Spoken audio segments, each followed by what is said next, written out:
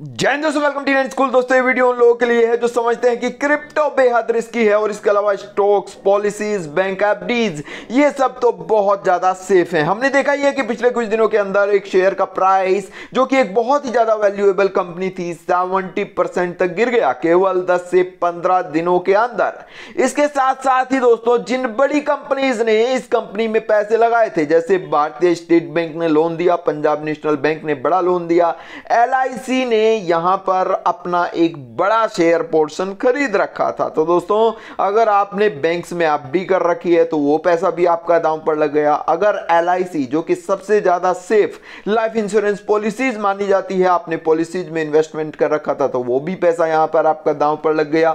आप ये बात खुद बोल रहे हैं, मैं नहीं बोल रहा हूँ। यानी दोस्तों, आपने बैंक में एफडी रखी थी, वो भी पैसा आपका सेफ़ नहीं रहा। आपने पॉलिसीज़ में इन्वेस्टमेंट किया था, वो भी आपका पैसा सेफ़ नहीं रहा।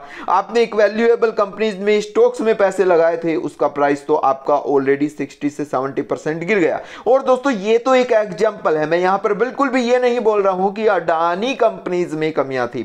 हर कंपनी में कुछ ना कुछ कमियाँ होती हैं। लेकिन दोस्तों, ये वीडियो आप खुद ही समझदार हो, केवल उन लोगों के लिए है जो ये समझते हैं कि स्टॉक्स बैंक में जमा की गई एफडी या पॉलिसीज़ बेहद सेफ़ हैं और क्रिप्टो तो बेहद रिस्की है। आपने देखा होगा, पिछले एक से डेढ़ महीने के अंदर क्रिप्टो ने तो आपके पैसे को दो गुना से भी ज़्यादा कर दिया, लेकिन वहीं पर आपके स्टॉक्स, पॉलिसीज़, एफडीज, ये सब का आपको खतरा हो रहा है कि हमारा पैसा कब गायब हो जाए। तो दोस्तों एट दी एंड मैं ये बिल्कुल भी नहीं कह रहा हूँ कि आपको क्रिप्टो में ही इन्वेस्टमेंट करना चाहिए, लेकिन मॉरल ऑफ़ द स्टोरी ये है कि किसी भी एक जगह पर आप कभी भी इन्वेस्टमेंट ना करें। अगर आप एक अच्छे इन्वेस्टर्स हैं तो दोस्तों आपको 20 30 या 10 अलग अलग जगहों पर इन्वेस्टमेंट करना चाहिए। यही आज के टाइम की चतुराई है। ज़मीन में इन्वेस्टमेंट करें गोल्ड में इन्वेस्टमेंट करें सिल्वर में इन्वेस्टमेंट करें क्रिप्टो में इन्वेस्टमेंट करें स्टॉक्स में इन्वेस्टमेंट करें बैंक एफडीज में भी कुछ पैसा रखें पॉलिसीज़ में भी कुछ पैसा रखें।